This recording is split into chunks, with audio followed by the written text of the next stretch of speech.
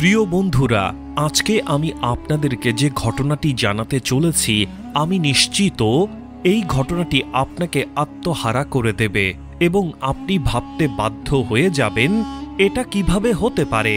এটা এজন্য কারণ আপনারা এখন পর্যন্ত অনেক ভিডিও দেখেছেন, যেখানে বলা হয়ে থাকে, এই গরুটির লক্ষ টাকা দাম অথবা বলা হয়, এই গরুটির কোটি টাকা দাম কিন্তু প্রিয় বন্ধুরা, আজকে আমি আপনাদেরকে যে গরুটির ব্যাপারে জানাব, এই গরুটি লাখ টাকার নয়, কোটি টাকার নয়, বরঞ্চ শত কোটি টাকার। এটা শুনে নিশ্চয়ই আপনি অবাক হয়ে গেছেন এবং ভাবছেন, কীভাবে একটি গরুর দাম এত বেশি হতে পারে? বন্ধুরা, একটি গরু তো আর সোনা কিংবা হীরা এমন কোনো কিছু নয়। তাহলে একটি গরুর দাম এত বেশি কেন? এই প্রশ্নগুলো যদিও আপনার মনের মধ্যে এসেছে, কিন্তু আমি আপনাদেরকে এতটুকু বলে রাখি, এই ঘটনাটি একটি সত্য ঘটনা। তো বন্ধুরা, আসলে এই গরুর ভিতরে এমন কি ঘটনা ছিল, যার কারণে গরুটির দাম এত বেশি? চলুন, আমি আপনাদের সবাইকে জানাই। বন্ধুরা, ভিডিওটি শুরু করার আগে আসুন একটু প্রার্থনা করি। হে আল্লাহ! আমাদের সকলকে হালাল রিজিক দান করুন। যারা হালাল রিজিক পেতে চান, কমেন্ট বক্সে লিখুন, আমিন। এবং ভিডিওটিতে অবশ্যই একটি লাইক দিয়ে আমাদের চ্যানেলটি সাবস্ক্রাইব করে নিন। এই ভিডিওটির লাইক টার্গেট দশ হাজার। তাই এখনই ভিডিওটিতে লাইক দিয়ে দিন। বন্ধুরা, এই ঘটনাটি অনেকটা এমন বনি ইসরায়েলে অনেক নেক এবং ভালো একজন মানুষ বসবাস করতেন, আর সেই মানুষটির মাত্র একটি সন্তান ছিল, যার বয়স ছিল অনেক কম। সেই মানুষটির কাছে সম্পদ বলতে শুধুমাত্র একটি গরুর বাছুর ছিল। বন্ধুরা, সেই মানুষটি মৃত্যুবরণ করার আগে তার সেই গরুর বাছুরটিকে জঙ্গলে গিয়ে ছেড়ে দেয় এবং সেখানে ছেড়ে দেওয়ার সময় আল্লাহকে বলে, হে আল্লাহ আমি আমার বাছুরটিকে আমার ছেলে বড় না হওয়া পর্যন্ত আপনার হাওলাতে ছেড়ে দিচ্ছি। আর এই ঘটনার কিছুদিন পরেই সেই মানুষটির মৃত্যু হয়ে যায়। আর সেই মানুষটি মৃত্যুবরণ করার কিছু বছরের মধ্যেই সেই গরুর বাছুরটি বড় একটি গরুতে পরিণত হয় এবং সেই মানুষের ছোট্ট ছেলেটি জওয়ান হয়ে যায়। সে তার মায়ের অনেক যত্ন করত এবং অনেক খেয়াল রাখত এবং সে সবসময় তার মায়ের কথা মেনে চলত।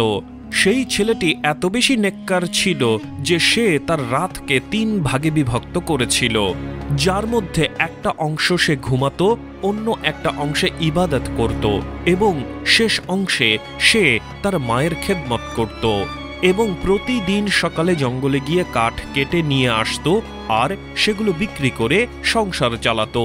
সে জঙ্গল থেকে কাঠ কেটে যে কয়েকটা টাকা উপার্জন করতে পারত, তা থেকে অল্প কিছু টাকা গরিব এবং এতিমদেরকে দান করে দিত এবং অল্প কিছু টাকা নিজের জন্য খরচ করত। তারপরে যত টাকা অবশিষ্ট থাকত, সমস্ত টাকা সে তার মাকে দিয়ে দিত। একদিন তার মা তাকে বলল, বাবা, তোমার বাবা মারা যাওয়ার আগে তোমার জন্য একটি গরুর বাছুর জঙ্গলে ছেড়ে দিয়েছিল। আর সেই গরুর বাছুরটিকে তোমার বাবা আল্লাহর হাউলাতে ছেড়ে দিয়েছিল। তুমি এখন সেই জঙ্গলের কাছে যাও এবং সেই জঙ্গলের কাছে গিয়ে মহান আল্লাহ তালার কাছে প্রার্থনা করো, মহান আল্লাহ তালা যেন তোমার সেই গরুটি তোমাকে ফিরিয়ে দেয়। আর আমি তোমাকে বলে রাখি, সেই গরুটিকে তুমি চিনতে পারবে খুবই সহজভাবে, কেননা এই এলাকায় মাত্র সেই গরুটি লাল রঙের। আর সেই গরুর চামড়ার রং এত সুন্দর যে দেখলেই তুমি চিনতে পারবে। এই কথা শোনার পর সেই ছেলেটি জঙ্গলের কাছে চলে গেল এবং যখনই সে মহান আল্লাহ তালার কাছে প্রার্থনা করল, সাথে সাথে সেই গরুটি দৌড়ে তার কাছে চলে আসলো। এরপর সেই ছেলেটি যখন গরুটিকে বাসায় নিয়ে আসলো, তখন তার মা তাকে বলল, বাবা, তুমি এই গরুটিকে বাজারে নিয়ে যাও। তাকে বাজারে তিন দিনারে বিক্রি করে দিয়ে আসো। কিন্তু তুমি অবশ্যই যার কাছে এই গরুটি বিক্রি করবে, তার ব্যাপারে বিস্তারিত আমাকে এসে বলবে। সে সময় বাজারে গরুর দাম তিন দিনারই ছিল। এরপর সেই বাজারে একজন মানুষ আসলেন এবং তিনি সেই বাজারে আসার পর সেই ছেলেটিকে বললেন, এই গরুটির দাম তিন দিনার, তাই না? কিন্তু আমি তোমাকে তার চেয়ে বেশি দেব। শুধু তুমি তোমার মাকে বলতে পারবে না, তুমি এই গরুটি আমার কাছে বিক্রি করেছ। তখন সেই ছেলেটি বলল আপনি যতই দাম দিন না কেন, আমি কখনোই আমার মাকে না বলে থাকতে পারব না। আমি আমার মায়ের সাথে অবশ্যই পরামর্শ করব গরুটিকে বিক্রি করার পরে। কিন্তু এই ঘটনাটি যখন সেই ছেলেটি তার মাকে এসে বলল, তখন তার মা বলল, নিশ্চয়ই সেই মানুষটি কোনো ফেরেশতা ছিল।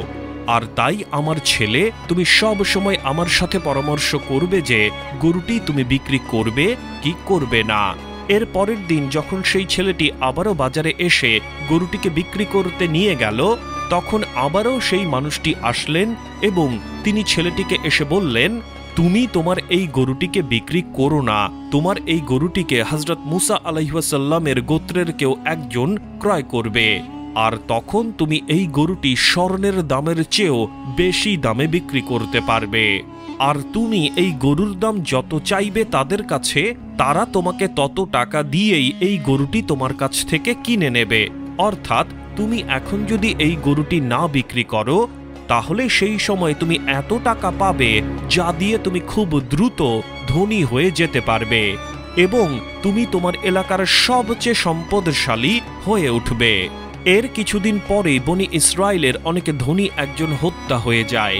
যে ব্যক্তিকে ওনার আপনজনেরাই হত্যা করেছিলেন এবং তার মৃত লাশটি একটা জায়গায় ফেলে রেখেছিলেন।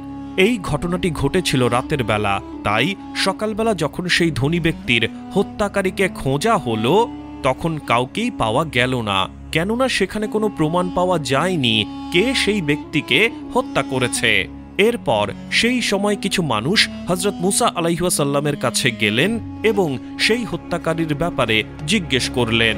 সেই এলাকার মানুষগুলো হজরত মুসা আলাইহাসাল্লামকে গিয়ে বললেন, হে মুসা আলাইহাসাল্লাম এই মানুষটিকে কে হত্যা করেছে?